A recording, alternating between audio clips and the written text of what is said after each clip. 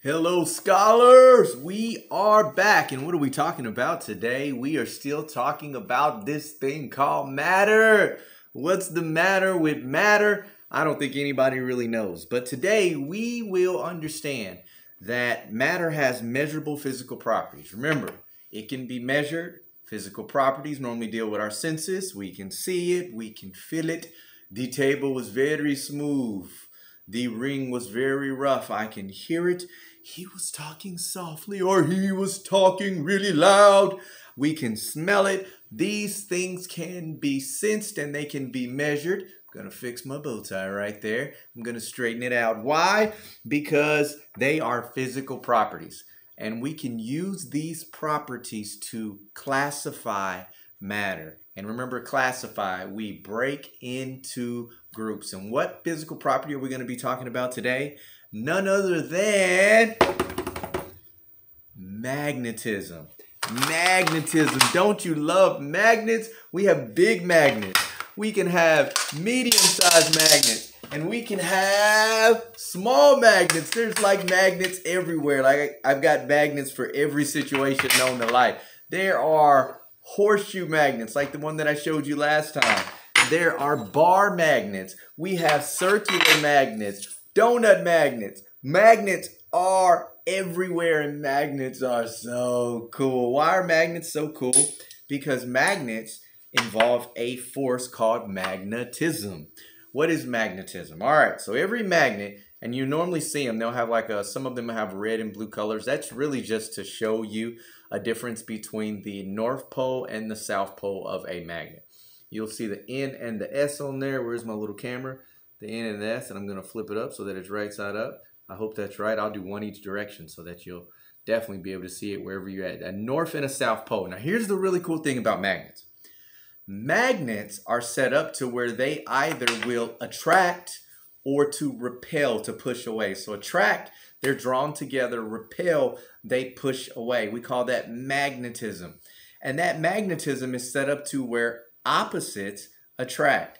So if I take the north and the south, and those two fields come together, they're going to attract to each other. See, those are attracting. But if I try to put the north and the north together, those are going to push away. They don't want to be together. They don't want to be together. They don't want to be together. Why? Why do you not want to be together? It's such a tough situation. And that's what magnets do. And magnetism is a force, but it's also a physical property that we can use to classify objects. We can classify objects whether they are magnetic, meaning they do attract, or they are non-magnetic, meaning that they do not have the force of magnetism. There's no attracting, there's no repelling, there's nothing. They just sit there. For example, this piece of paper is non-magnetic. I can rub the magnet on it. I can hit the magnet on it. It doesn't matter what I do. It is not going to evidence the physical property of being magnetic. It's not going to have magnetism. It's just wood. It's not going to happen. It's a piece of paper. There used to be a tree somewhere in some forest that we probably should not have cut down. Conservation conservation. We've got to conserve our trees. What? So we've learning that this is a bar magnet. So we have different types of magnet. We know about a horseshoe magnet. We know about, we have these things called donut magnets. And there's really cool things that we can do with magnets. What I'm going to have you do today is, let's see if I can even see this on the camera.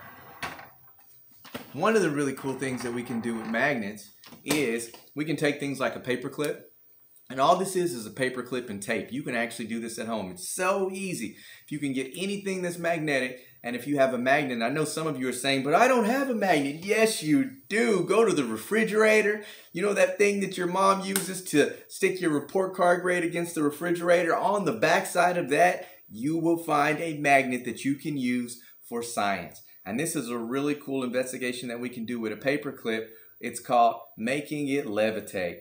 And no, I am not a magician. This is actually science. You'll notice that in between there, there is space because the magnetic pull from these magnets is attracting the iron that is in this paper clip and it's causing it to levitate. If I remove the magnet, it falls. If I remove the magnetism, it falls. But if I bring it back, I can literally bring this all the way around and all the way around. And isn't that cool? Watch this. We will go closer to the camera, further away from the camera, closer to the camera. Let's do circles. Can we do circles? I don't know. I'm going to try to do circles and continue talking about everything else. It's kind of like rubbing your head and patting your belly at the same time. Rubbing your head and patting your belly at the same time. I was never really successful with it, but I am able to move this magnet and talk. So, today, what I want you to do is I want you to find a magnet if you can. Magnet on your refrigerator, magnet anywhere, and I want you to go on a magnetism scavenger hunt. And what a magnetism scavenger hunt is, all you're going to do is you're going to go to different things in your house and we're just going to test to see what kinds of things are magnetic and what kinds of things are non-magnetic. That is your task should you choose to accept it. And when you get to the end for your journal activity, I want you to create a definition of what you would use to describe magnetism. How would you describe magnetism? What words would you use? How would you put that into a definition for somewhere else? So we're going to have a magnetism scavenger hunt. I could say, no, the table is non-magnetic, but I might find something else, maybe even another magnet that is magnetic. That is your task should you choose to accept it. And by choose to accept it, I mean absolutely love science because science is amazing and magnetism is a physical property that we can use to classify magnet uh, classify matter into groups. You guys are awesome because you're geniuses, you're scholars. Have an absolutely wonderful day and we will be back on tomorrow with more amazing science to talk about.